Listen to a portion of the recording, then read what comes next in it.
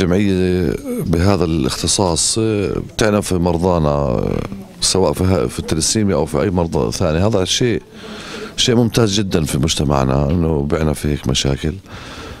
إحنا واجبنا ندعمهم ونوقف معهم للتخفيف عن معاناة هذه الفئة. إحنا أيضا يعني بنشكرهم هاي الجمعية قامت في شيء مهم جدا في طول كرم في معالجتهم في إدراجهم في المجتمع حل مشاكلهم. الآن هم يعني كثير من المرضى بيعيشوا حياة طبيعية جدا جدا. عندهم تفوق عندهم إبداع. وسجلوا إبداع لنا للشعب الفلسطيني في المسابقات اللي صارت في الخارج وخاصة في الإمارات وحصلوا على جائزة مميزة في هناك.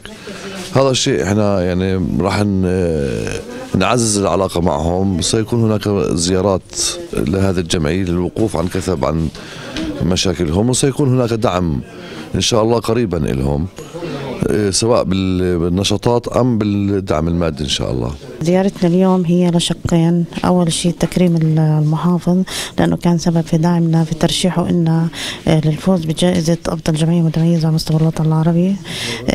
طبعا الشق الثاني اللي هو تعريفه في جسم المجلس الشبابي أهدافه إمتى تشكل ومين هم اعضائه.